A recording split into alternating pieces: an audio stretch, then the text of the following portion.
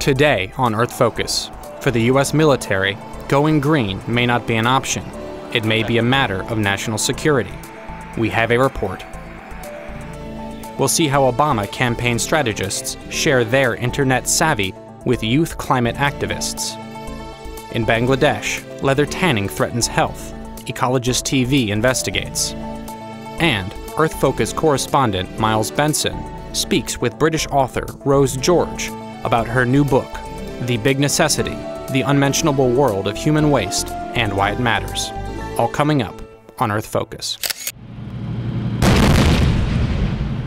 When it comes to the future of America's defense, it cannot be business as usual. A new report says that depending on fossil fuel to defend the United States makes the nation vulnerable, and that the Department of Defense can lead the way to promote energy independence and efficiency through innovation and the development of new technologies. The report, Powering America's Defense, Energy, and the Risks to National Security, was prepared by 12 retired admirals and generals and issued by CNA, a Virginia based research group. It was presented at the Woodrow Wilson International Center for Scholars in Washington, D.C. in May 2009. It sounds a clear warning that our energy security, climate security, and our national security, militarily, politically, and economically, are inextricably linked, and that our current energy posture, which affects national security and climate security, is unsustainable. With the growing Earth population, 6.5 billion and climbing rapidly, with the information age telling those 6.5 billion plus people that there's a better lifestyle to be had, and that a key to that better lifestyle is access to energy and other critical resources, the demand is going off the charts. And if we project out business as usual with our current levels of energy efficiency and our focus on fossil fuel, the supply simply isn't going to keep up. The solution set has to start now. Our increasing dependence on fossil fuels means that we are more vulnerable today to those unstable countries around the world who are oil producing that would do us harm. That's where much of the terrorism and extremism in the world originates. So we need to reduce our reliance on fossil fuels, diversify our energy sources across the board uh, in order to protect our security. We have to recognize that energy security and national security are tied together and are being used by other people in the world, whether it's OPEC or the Russians or the Venezuelans or whomever the next oil exporting country decides that they've got a lever that we don't have. Uh, we have to tie those pieces so that people recognize that we need to do something now. The report points to another crack in America's security infrastructure one that affects not only the military, but also the general population, the fragile and vulnerable national electricity grid. We have a grid in which terrorist actions in certain nodes of this electrical grid can deny electrical power over vast regions of our country for many, many days, even weeks. And we have to recognize this and we have to do something about it. Our national electrical grid is aging and vulnerable to accidents and things that cause communities to lose power. A few years ago, it was a couple of trees that caused the entire East Coast to lose power for quite a long time, and that included some critical military installations. So today we need to insulate critical infrastructure from that vulnerability. At the same time, we need to uh, upgrade, modernize, and make smart our electrical grid so that it can serve the needs of a modern society. The needs of a modern society, as well as a modern military which relies on that same grid. Key to all of this is the threat of climate change that will present new challenges to America's military, which is today the nation's largest single consumer of energy. So, what steps does the military need to take to provide for America's energy security? The report calls on military planners to make energy choices that don't contribute to greenhouse gas emissions and are viable in the carbon constrained world of the future. This includes developing and using new renewable sources of energy. There are a variety of um, alternative fuels under development. Uh, there are a variety of battery technologies, composite materials, uh, renewable sources from wind and solar. One of the largest solar installations in the country is at an Air Force base in Nevada. There's also solar housing at other military installations. There's wind resources, geothermal. And today the military is also adopting small vehicles that run on batteries or hybrid electric that will begin to show us the way in the future of new vehicles. Some of the new sources of energy the Defense Department is considering may be surprising. Today, the United States Navy is looking at fueling their ships with algae produced fuel. And when I first heard about algae as a fuel, I thought, well, that's pretty unique. Of course, on the other hand, that's where all oil comes from originally. But uh, the good news about algae uh, is uh, it's going to be plentiful. It's uh, uh, relatively clean to make. Uh, it burns a little better. It's got a better octane than regular fuel, and it doesn't have to have a new infrastructure to move it around. Also on the agenda is streamlining energy efficiency in combat and support operations. There's no one silver bullet, there's no one magic solution, but I think the number one thing is to be much more efficient in the way we use existing forms of energy. A gallon of uh, fuel to an airplane being refueled uh, any place, doesn't have to be in battle, any place, is $42 a gallon.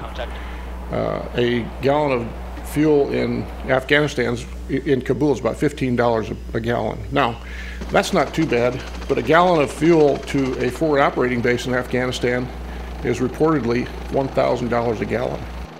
On the battlefield, as, as we move to other forms of energy and alternative forms of energy, we're not only going to find, I believe, that we're saving more lives on the battlefield because of the way we're using energy, but we're going to find too that we're cheaper.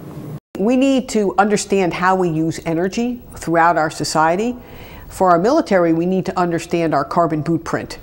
Uh, and that means being able to measure our energy use as well as understand greenhouse gas emissions. You can't manage what you don't measure. The report calls for the Department of Defense to ramp up energy efficiency at all installations pursue smart grid technologies and electrify the military vehicle fleet. There's a tremendous opportunity here for the Department of Defense, all of the services, and indeed for the entire uh, country, not just the government part of the country, but for individual citizens to face this challenge and actually turn it into opportunity to create a new energy uh, oriented economy. It was young people who got themselves a president. It was young people who got themselves a Congress. It was young people who put the environment and climate change on the agenda, on the national agenda. The Obama campaign used the internet to elect a president. Since then, new technologies have become the must have tools to raise funds, build networks, and generate action.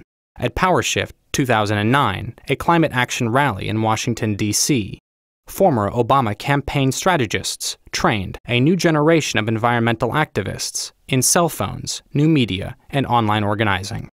Can they do for climate action and the new green economy what they did for the 2008 election? Each one of you is a walking technological superpower. Each one of you, you have more technology on your person right now than the U.S. government had when it put a man on the moon. Ten years ago, if somebody was walking down the street and they could move their lips and somebody around the world could hear their voice, that person would be considered a god. That's just you on your cell phone. I want you to understand how much power you have. PowerShift 2009 was the largest youth rally for climate action ever. 12,000 young people from 50 states and 30 countries came to Washington, D.C. in February 2009 for three days of skills building and grassroots organizing. And because this is the first year when both houses of Congress will consider climate and energy legislation, activists called on their representatives to ensure that the youth voice is heard. We need 5 million green jobs. We need a cap on carbon, and we need at least 35% emissions reductions by 2020, 80% by 2050. We need to put a moratorium on new coal fired power plants, and we need strong incentives for wind, solar, and geothermal. And we're not going away till we get it. On the youth agenda, putting Americans back to work through millions of green jobs, repowering the country with 100% clean energy, ending U.S. dependence on fossil fuels and nuclear power, as well as re engaging globally to tackle the climate crisis. Young activists return to their countries and to over 1,000 campuses across America to use skills that work in politics to build the movement that will secure their future. We must recognize the moral magnitude of this moment. This year, 2009, our moment! Who's ready for a power shift? Power shift! Power shift! Power shift! Power shift! Power shift! Thank you.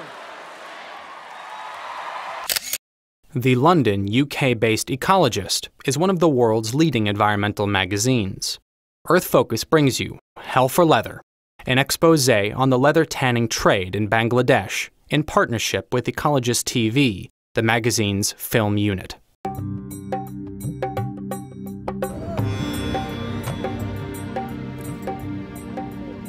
The Buriganga River runs through the heart of Dhaka, Bangladesh.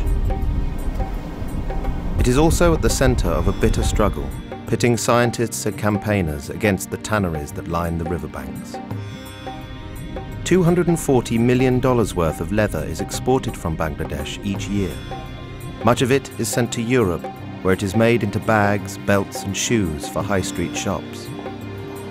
Experts claim the tanneries in Dhaka that supply much of this leather are killing the river and poisoning tens of thousands of people who live and work nearby. The ecologist visited Bangladesh to investigate these claims. নদীকে আমরা সবসময় মায়ের মতো দেখি তো এখানে নদীকে এখানে ব্যবহার করতেছে তারা ড্রেনের মতো এবং ইন্ডাস্ট্রির বর্জ্য এবং সমস্ত তারা ময়লা নদীতে ফেলছে হ্যাঁ যার জন্য নদীতে কোনো মাছ নাই কোনো প্রাণী নাই এবং নদীতে কোনো নদীর পানি ব্যবহার অযোগ্য হয়ে গেছে They claim that the principal source of the pollution are the tannery chemicals. Buriganga River is mostly polluted by the Hazaribagh tannery. You know, they almost uh, use 300 chemicals, and majority of them toxic chemicals. Untreated tannery effluent fills the stagnant drains around Hazaribagh and the stench of chemicals is overwhelming.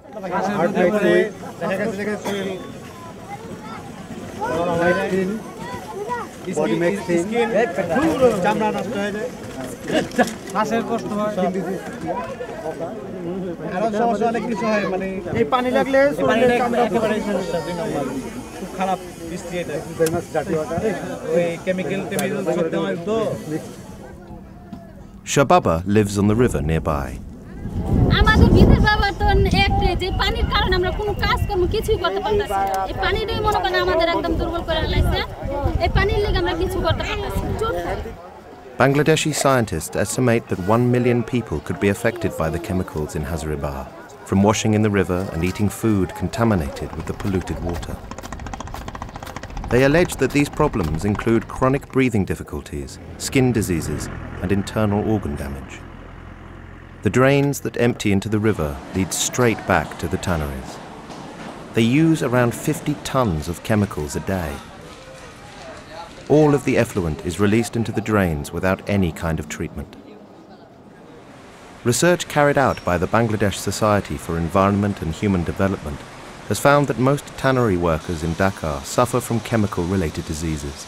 It estimates that 90% of them will be dead by the age of 50 we gained access to two tanneries that export to the EU.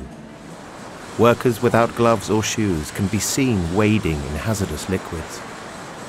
When we spoke to the tannery owners about the situation, they suggested that the chemicals are safe because they are European.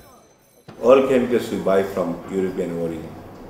Which, which customer can provide us the assurance your chemicals is not, you know, the, it's not problem for the environment or it's not problem for the, you know, the health hazard, this kind of things.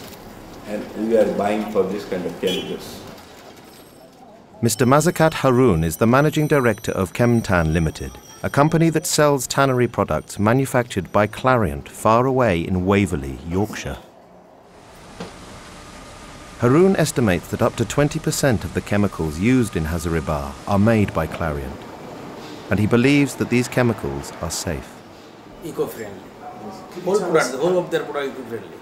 What, uh, what is the characteristics of them that makes them? They provide the uh, that is the provide safety data sheet. They provide the literature. Every uh, we find out that this, this product is eco-friendly, but we we never test that it is eco-friendly or not. But their products, but literature says that it is eco-friendly. Right. They So that claim they- that, that our product is eco-friendly. Experts in the UK, however, suggest otherwise. I, I just would be extremely surprised if that was the case. Safe is if you understand all the instructions and you implement all the instructions on all those chemicals that you're using. And then you've got the issue of a chemical on its own might be safe, but how it mixes with that other chemical and that other chemical, we don't know. And you can be making a very nasty toxic cocktail. It's not just the ingredients of the individual chemicals that worry the scientists. Dr. Paul Johnston runs the Greenpeace Science Unit at Exeter University. Essentially what you do as soon as you release a mixture of chemicals like that is, is really you're, you're, you're emptying a Pandora's box into the outside environment and it's really almost impossible to predict exactly what is going to happen. We have very little understanding of the behaviour of mixtures of chemicals in a wider environment or the behaviour of mixtures of, of chemicals in terms of the way that they impact upon human health. It is indeed a huge Pandora's box and it's one that should be brought under very, very tight control. According to Haroon's estimates, Clariant sells 5 to 10 tons of tanning chemicals in Hazaribagh every day. When approached, however, Clariant declined to comment on the problems in Hazaribagh. Clariant also declined to provide us with any information regarding the safety or composition of the products that they export to Bangladesh. For the past seven years, the government has planned to move the tanneries to a new site outside of Dhaka, with treatment facilities for the chemicals that are used. But only one out of a hundred planned buildings has started construction. In April last month, the Bangladesh government announced that once again, the relocation scheme has been postponed indefinitely. Much of the leather manufactured in the toxic tanneries of Hazaribagh is exported to Europe, where it is manufactured into shoes, handbags, and wallets to feed the trade in leather goods. Cheap goods are a dream come true for consumers in the West. But for now, the nightmare stays in Hazaribagh, Bangladesh. Most people in the industrialized world are never far from a toilet.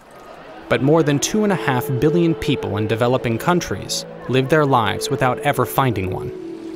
People make do with the bush, the roadside, or whatever there is in a convenient spot. The result? Nearly 5,000 children die each day from diarrhea related diseases. The problem is not limited to developing countries. Some highly industrialized nations are still dumping unprocessed waste into their water supplies. British author Rose George spent three years traveling the world to look at the neglected issue of human waste disposal. She speaks with Earth Focus correspondent Miles Benson about her recently published book, The Big Necessity The Unmentionable World of Human Waste and Why It Matters. She examines the questions why sanitation remains a leading public health problem and why we all need to pay attention. Tell us the answers to those questions. we would probably not be here if, if it weren't for sanitation or the successful treatment and disposal of human waste. Most of our modern cities in the Western world, um, urban historians call them sanitary cities because without sewers, taking away a potentially toxic material because human waste can carry 50 communicable diseases, including cholera and uh, dysentery and all sorts of nasty stuff when sanitation was brought in in London in the 19th century uh, and then followed by hand washing with soap becoming the norm, child mortality, which was uh, at that time one in two children died before the age of five, so it was dramatic. Uh, child mortality dropped by a fifth. It was an absolutely stunning drop in child mortality, and that was due to them figuring out how to deal with the problem of human waste. So that's why it matters. How many children die each year because of an absence of sanitation? Worldwide, uh, the absence of sanitation um, contributes to diarrhea. Diarrhea is the second biggest killer of children under five in the world. The death toll from contaminated water and food, which is generally contaminated by human waste and animal waste, um, is absolutely phenomenal. And yet, it is the biggest unspoken public health crisis. Can you put a number on it for children, for example? There are a few numbers. There's some debate, but it's around 1.5 to 2 million children a year. Now, that's a child dying Die. every dying every 15 seconds from diarrhea, which to most of us in our privileged Western world is simply the result of a bad takeout meal or a, a, a, a sandwich that doesn't agree with our stomachs. But to children under five, it's an absolutely devastating um, disease. And diarrhea, for example, is the reason uh, that you can have a malnourished child in a well fed family, and the reason that no matter how much food the child gets, it just continues to leave their body at a great rate and they do not get their nutrients, so they can to continue to be malnourished. And this is the result of open defecation. It's a result of the fact that 2.6 billion people worldwide ha- have absolutely no sanitation whatsoever. And when I say that, I mean nothing. I mean not even a bucket or a box. 2.6 billion. 2.6 billion, that's a quarter of the world's population, still have absolutely no sanitation. While you were doing your research for this book, did you come across an answer to this, uh, solution to the problem that uh, presents itself, an, o- an obvious one? Well, the obvious solution is that there is no one solution, and that's a new thinking in the in the field of sanitation. Before there was this concept that the answer to everybody uh, everybody's problems was a wastewater treatment plant and sewers. Now that just doesn't make sense for many countries around the world because they simply can't afford to put that much drinking water down a toilet, and they don't necessarily have the expertise to run expensive wastewater treatment plants or the capital to keep those treatment plants going and you do whatever works in that particular situation. That might be in Malawi, that might be um, a composting pit latrine, known as an arborloo, where you, you have a pit latrine and then at the end of when you're finished with it, you plant a tree in it so you get a nice banana tree because human waste, which is not waste, it's a very good fertilizer when it's properly composted and treated. This horrifying death toll, is this a problem that can be solved just by throwing money at it? And how much would it take? Not necessarily. There are debates about whether it is a money problem. Clearly, funding is needed because sanitation is so woefully neglected by donors. Um, water and sanitation in general does not get the money it should. And even when water and sanitation gets attention, often the budget will be 95% going to clean water supply and only a pittance going to sanitation.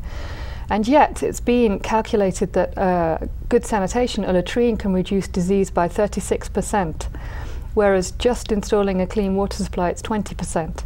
If you've got the holy trinity of sanitation, clean water supply, and hand washing with soap, then you reduce disease by 80%. So, if you give a woman, for example, a latrine, not only will her children probably not die of diarrhea, she will consequently have more time to uh, to work so that income generation is increased. Her girl children in particular who didn't want to go to school because there were no latrines for them and they were embarrassed and scared that they would be attacked or eh, when they were out uh, going to do open defecation um, they will go back to school. So when sanitation is installed in schools, attendance rates do leap quite impressively, often 20 to 40 percent. There's economic sense in this. There is an economic sense. Sanitation is an absolute bargain. It's the most cost effective health prevention tool we have. Um, it may cost a lot to install a latrine, but in terms of prevention, you reap so many benefits and you save money. If you invest a dollar in sanitation, the World Bank has calculated you save $7 that you would otherwise have spent in health costs and in labour days that you would have lost because your workers are sick with diarrhea or dysentery or cholera. If we want to get universal sanitation for uh, by 2015, it will cost us 96 billion dollars, but it will save us 660 billion dollars. So the financial benefits of sanitation are simply uh, well, they're no-brainers. Actually, it's just such a such a bargain. There are problems that are beginning to show up in the infrastructure of large cities in developed countries, aren't there, that uh, didn't exist before, problems that didn't exist that are now uh, challenging their ingenuity. Could you talk a little bit about that? Um, infrastructurally, um, in the UK and the US, definitely our infrastructure is in is in a dire state. Um, in the US, the American Society of Civil Engineers in 2005 uh, rated the nation's infrastructure and gave it a D minus, and that was down from a D a few years before. The trouble is that a lot of our sewers were built over 150 years ago. Um, but they built for populations that have simply grown beyond imagination, even in London, where Sir Joseph Basil Bazalgette, one of my particular heroes, who built the main drainage of the metropolis, he built it with a 25% extra capacity because he understood that there would be population growth, but still he built a system for 3 million people, which must now serve about 10 million. So there isn't simply the capacity in the sewer network, and maintenance is sorely lacking, and funding for maintenance is sorely lacking. When they start collapsing, that's when we'll notice. But by then it'll be too late. It'll be very, very expensive to work on it at that point. The time to work on it is now when we can be preventive. So it's by no means just a problem of the developing world. I mean, if you look at the developed world as well, it's quite shocking that, for example, Brussels, which was busy fining other countries, as is its right as the seat of the European Union, uh, didn't install a sewage treatment plant until 2003. So before that, it was simply discharging sewage into the nearest river or sea. And there are other cities that do that too, Victoria, BC. Uh, there is a big uh, debate at the moment about whether they want to install a sewage treatment plant. So the point is we haven't resolved this question. We assume it's been resolved and we assume we have the perfect solution, but we certainly don't. Rose George, thank you very much. You're welcome.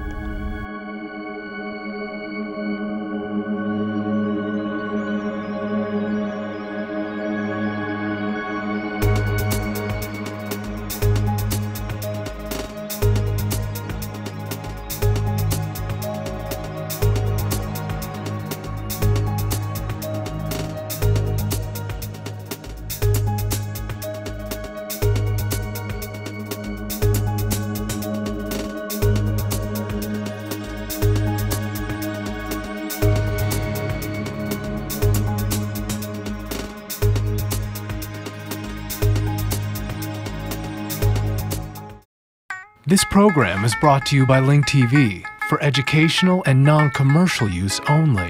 Link TV is the only U.S. network dedicated to global and national news, uncompromising documentaries, and diverse cultural programs. Programs which connect you to the world.